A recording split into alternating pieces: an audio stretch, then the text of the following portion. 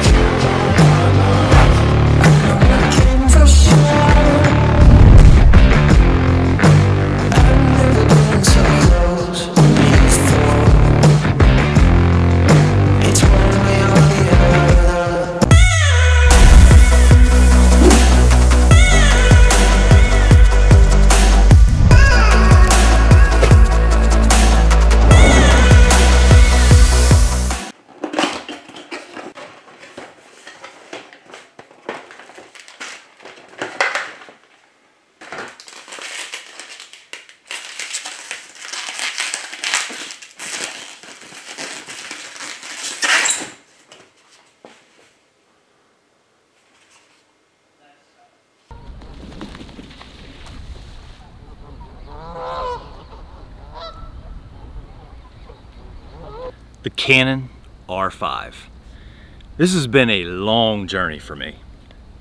I got interested in this camera before it was even a camera. When they released the Canon R, I thought before the specs came out, this was what we were gonna get.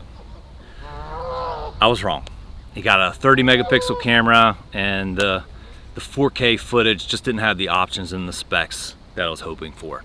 For me, I do a lot of video and photo at the same time. So I'm documenting my photography journey or I'm hiking. And so what I was finding is I was having to carry multiple cameras. The R5 fixes that.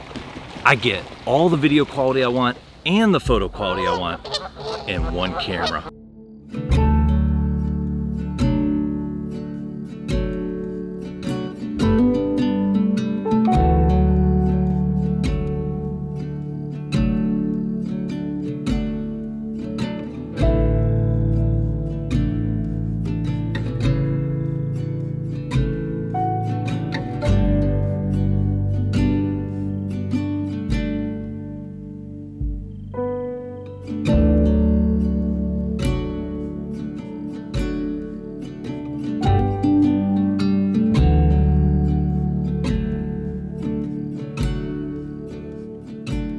I've been shooting with it for about three weeks now, and I absolutely have fallen in love with it. But from the day they released the Canon R5, I mean, literally, like Peter McKinnon is doing the announcement for Canon. It's being live streamed. I'm in my in my buddy's truck. We're headed up to the Adirondacks, and I'm I'm trying to purchase it. You know, pre-order it. I didn't know when they were going to release it. Is it going to be the start of the live stream or the end of the live stream?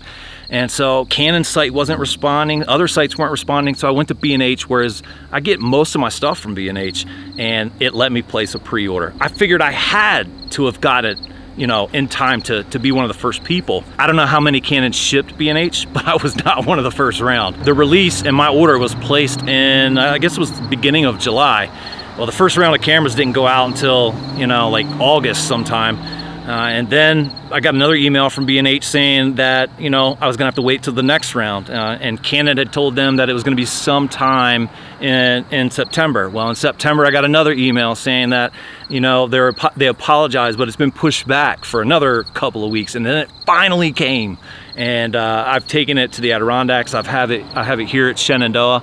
I'm using it for photo, for video, and it's absolutely incredible. I'm just gonna tell you as a landscape photographer, who does YouTube about his photography and all kinds of other stuff. And I have several YouTube channels actually where I do a lot of video work.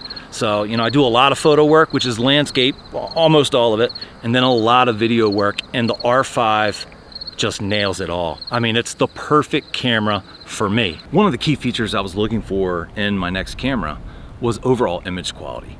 The resolution, both photo and video on this R5 is out of this world. A resolution of 8192 by 5464, this takes resolution to a whole nother level compared to the cameras that I was using before, the Canon R, the, the 80D and, and, and the GH5 and some other cameras. The camera has a 45 megapixel sensor and is capable of 8K. I'm not gonna be using 8K. Uh, 8K is pretty pointless for me. Most computers and software can't handle 8K without a whole lot of uh, tweaking and crashing and everything.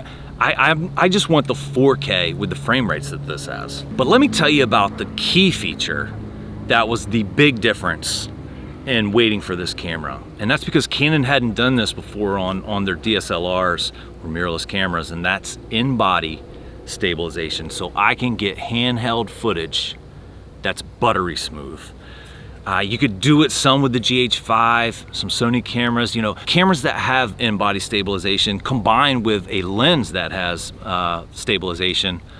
You, you can almost get rid of a tripod when it's daytime to do handheld shots. When I was looking at the check boxes my next camera had to have, that was right there. It had to have in-body stabilization and I had gotten to the point where it had to be a Canon because I wanted that menu system, I wanted those features. The dual pixel autofocus, the autofocus covers the entire screen. You can move the focus point around with the joystick. This is some of the handheld video I've gotten with the Canon R5 and some of the photos I've taken with the R5 since I purchased or since I received it. And I, I think you'll agree they're just absolutely stunning. Beyond the fantastic image quality the R5 has, some of the other features that I really enjoy are the 4K 120 frames per second.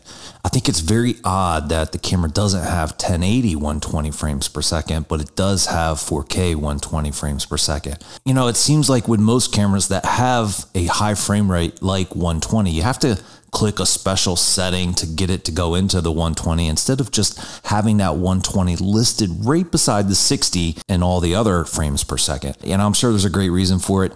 It just doesn't seem you know very efficient to me. Let's let's try to get that 120 right there where the rest of the frame rates are I mentioned that in-body stabilization was one of the huge factors. Eight stop in-body stabilization. It's absolutely fantastic. It's got a high resolution viewfinder. And so when you're looking in there, you're getting a very real idea of what your picture is going to look like. It's, it's one of the best that I've ever seen. It's got very fast continuous shooting at 20 frames per second with the electronic shutter, which you can either go quiet or leave it on in sound. 45 megapixel sensor, absolutely fantastic performance out of it. You can shoot in C-Log. Has Canon's typical flip out screen that rotates so that you can vlog with it very easily. The Bluetooth Wi-Fi connection is so much faster than, than in the past. You can go into the app and be connected to your phone, and I'm gonna say maybe 25 seconds at most after you've done it the first time. A lot of people were very concerned about the, the camera having dual card slots. It doesn't mean that much to me, but it does have a CF Express card and a standard SD slot. With an external recorder like the, the Ninja 5,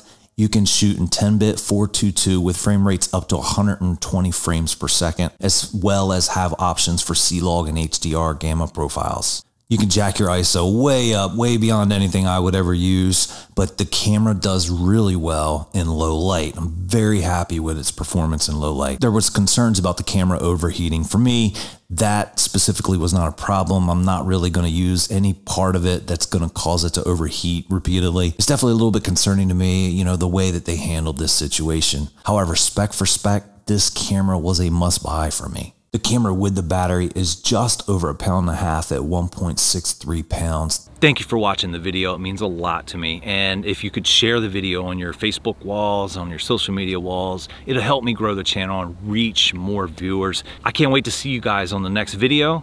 You have an awesome week.